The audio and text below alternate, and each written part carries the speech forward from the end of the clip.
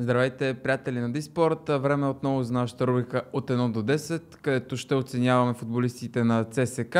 Червените победиха с 3 0 Царско село и има за какво да обсъждаме представянето на всеки отделен футболист, така че без никакво забавене преминаваме към вратаря на червените Густаво Босато. Бразилският страж нямаше абсолютно никаква работа през целия двубой. Положенията на Царско село стигаха само до неговото наказателно поле и колкото и да бяха малко, защитниците ги избиваха и съответно не се получаваха опасни удари. Ще поставим оценката от 6 само за Густаво Босато. Казвам само, просто защото направи онази глупава грешка, която може да се окаже много сериозна, ако родният той от състава на Царско село бе вкарал гол. Густаво Босато не успя да изрита топката подарен на противников нападател почти фронтално срещу него, а това наистина е живо престъпление. И ако този път му се размина, то в следващ матч друг нападател може и да реализира това попадение и съответно да направи матча по-труден за ЦСК и оттам да се получи една много-много стоеностна и лична грешка. Поставяме оценката от 6 на Густаво Босато заради персоналната грешка, която можеше да се окаже и фатална в един етап на друг двубой. Преминаваме вече към полевите състезатели. Започваме от Иван Торицов, който отново имаше сериозни проблеми с противниковите крила. Родният и, и неговият съотборник Андерсон Кордейро доста пробиви имаха именно през зоната на Иван Торицов. Антуи го надбяга на няколко пъти, финтира го дори през първото по време и цялостно Иван Торицов отново бе по-слабата част от състава на ЦСК.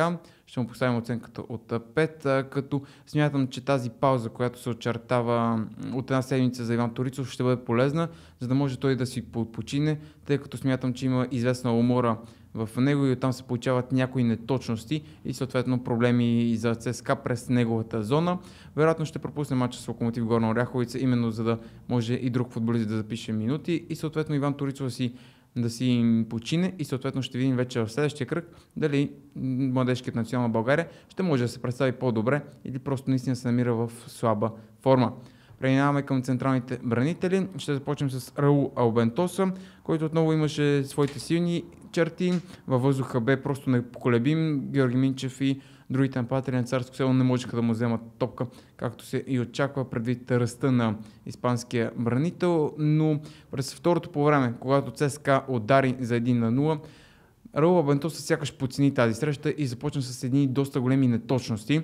Той се впусна в една атака по десният фланг и загуби топката и за миг можеше царско село да организира много опасна контратака, но в крайна сметка неговите отборници се справиха.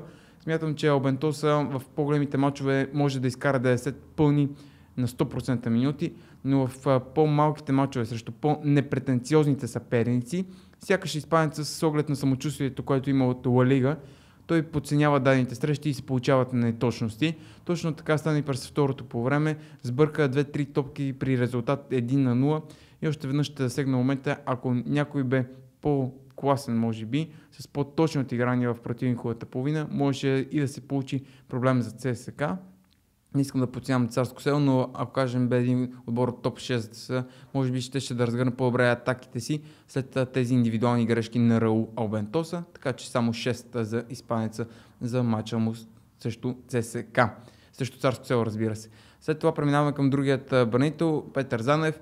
Занев отново изкара ни 10 минути на страхотна стабилност, нямаше фрапантни грешки, изкара ги на много високо темпо, ще му поставим оценката от 7 капитана на пое отбора към нова победа, не допусна нито една неточност, която да се забележи, така че седмицата идеално приляга на опитният бранител. Към лявата част на защитата, Брадли Мазико, той отново демонстрира добра игра в атака. В защита този път обаче видях няколко проблема. Отново бързите крила на Царско село преминаха през неговата зона. Брадли Мазико се представи с една степен по-соло, отколкото матча срещу Ботев Подив. Ще бъда малко по-стриктен към него и ще поставя оценката само от 6. Има потенциал за да се превърне в основна част от състава на ЦСКА. Има много добри включвания в атака, в защита. На моменти е леко колеблив бе в матч срещу Царско село, така че можете върху какво да поработи и съответно адаптацията да му бъде в пълен етап така че малко по-стриктен ще бъда към френския бранител и цялостно поливалентен футболист. Вече към халфовата линия Вив Соломон Табор отново започна срещата от първата минута по подобие на предишния добой срещу Ботев Подив. Отново направи един много слаб матч. Единственият хубав момент, с който ще запомня от Табор, е точно момента преди да излезем.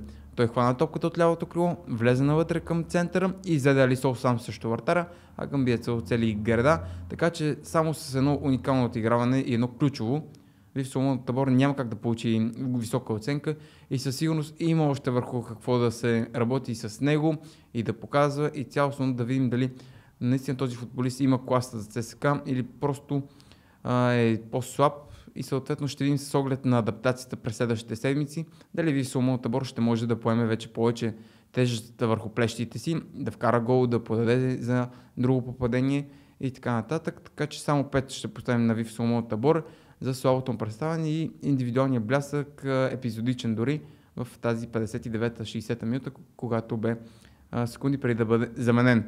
Преминаваме вече към централната двойка Халфове. Кристиан Малинов Кристиан Малинов отново направи страхотен матч, бе навсякъде. Той бе пробягал цели 12 км в този двубой, спечели много топки от неги. В атака се опита да се включи, но успя да ги завърши като че ли по най-добрият начин, но отново бе един от най-добрите в центъра на терена.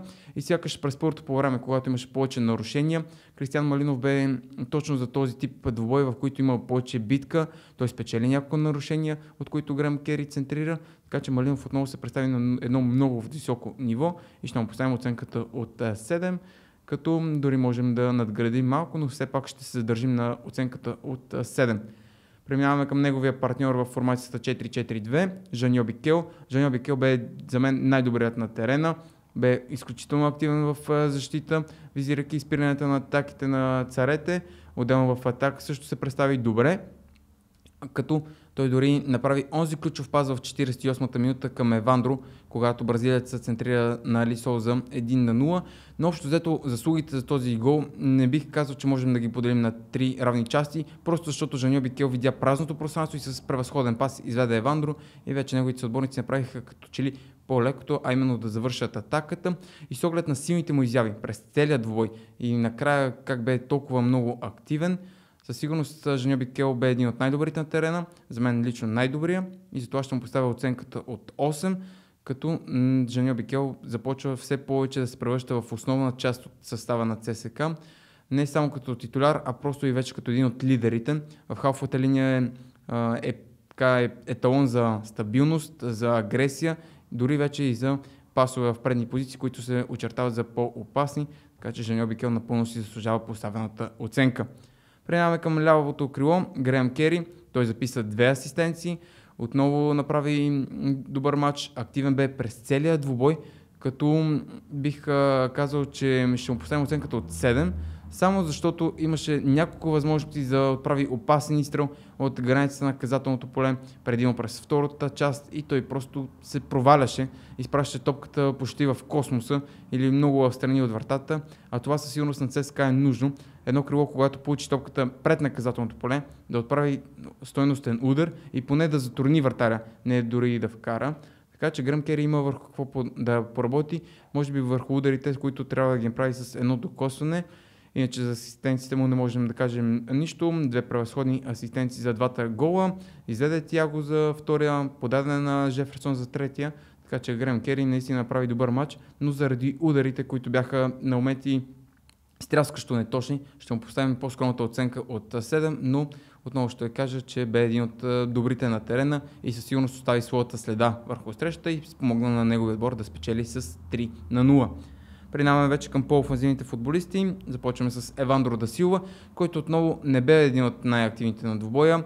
Със сигурност не бе толкова слаб, колкото бе срещу Ботев Плодив, но неговите изяви, визирайки позитивните в среща, бяха по-скоро епизодичи. Имаше някои изстрела през целия двубой в 30-та минута, в последствие през второто по време но мен лично не ме впечатли. Когато си карал толкова много голове в началото на сезона, със сигурност погледите са към теб и ти отново трябва да демонстрираш онова ниво, с което спечели повечето от феновете на ЦСК.